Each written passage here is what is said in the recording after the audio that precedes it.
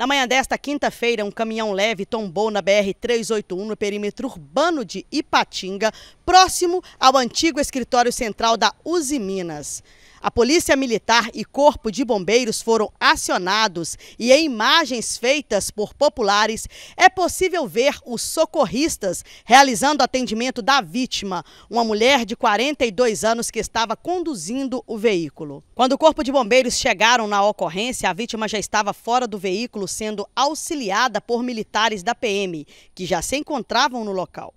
Os socorristas iniciaram o atendimento e constatou que Adriane Silveira Bicalho encontrava-se confusa e queixando-se de dores nos membros inferiores, na região torácica e cabeça. Ela também possuía escoriações no joelho direito. A vítima disse aos socorristas que já havia feito duas cirurgias cardíacas e uma de aneurisma cerebral. Adriane foi mobilizada e conduzida com monitoramento constante até o Hospital Márcio Cunha e Patinga para um atendimento mais especializado.